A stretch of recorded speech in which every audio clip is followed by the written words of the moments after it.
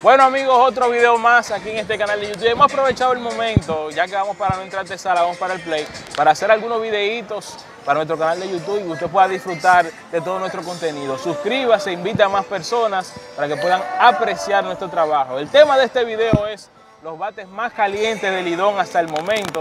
Ya nos encontramos eh, casi a mitad de temporada. Estamos en el día de hoy, el día que se está haciendo este video es el día 10 de noviembre. Y hay que mencionar cuáles son los bates más calientes de cada equipo de la Liga Dominicana de Invierno. Voy a iniciar de arriba hacia abajo.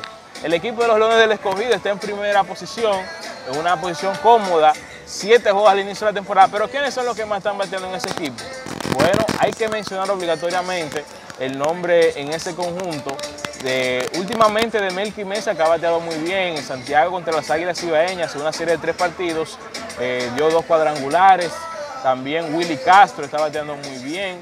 Eric González que inició lento, pero luego a medida que fue tomando turnos, ya empezó a calentar. Lastimosamente sufre una lesión y no se sabe por qué tiempo estará fuera del equipo.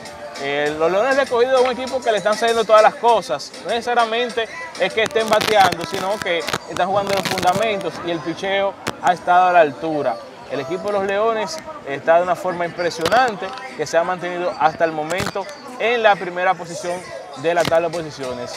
Aterrizando aquí a la romana, hay que mencionar varios nombres correspondiente a los bates más calientes.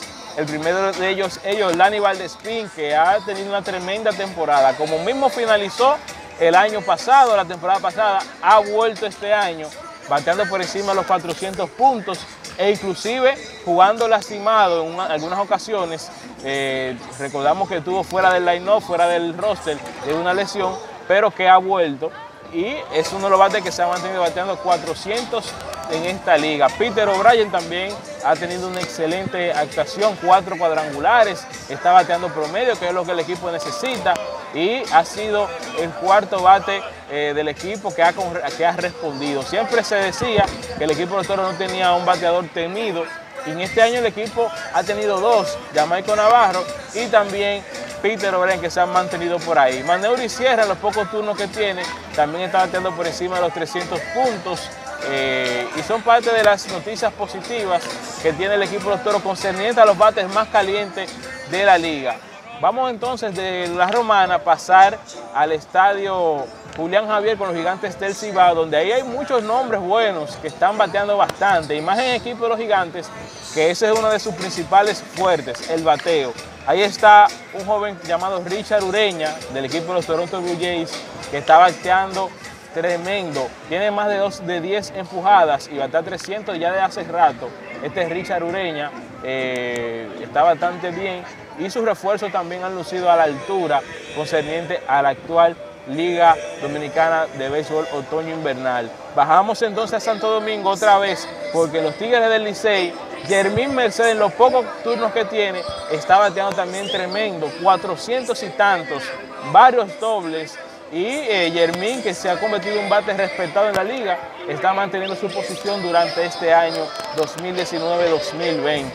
Eh, dentro, de, dentro del Licey, sorprendentemente, Juan Francisco también está bateando muy bien, 300 y tantos, está bateando eh, Juan Francisco, el caballo azul, y ya se le ha visto un par de cuadrangulares en lo que va de campaña 2019-2020.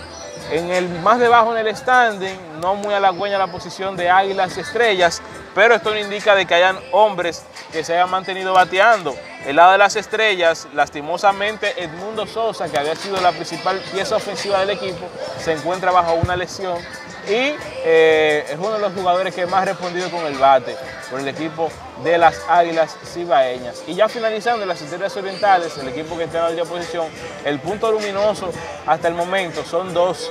Lewin Díaz, que ha tenido una muy buena actuación, y finalmente, eh, además de Díaz, también el jugador Sócrates Brito que estaba bateando 300 también en esta liga. Usted puede poner debajo en la descripción cuáles otros jugadores ustedes piensan que están bastante calientes. Dije algunos así, por decirlo, pero usted puede ayudarnos y poner debajo también lo que usted crea que son importantes, que han apoyado la ofensiva de sus respectivos equipos. Hasta aquí este video, suscríbase y disfrute de más contenido que tenemos en nuestro canal de YouTube.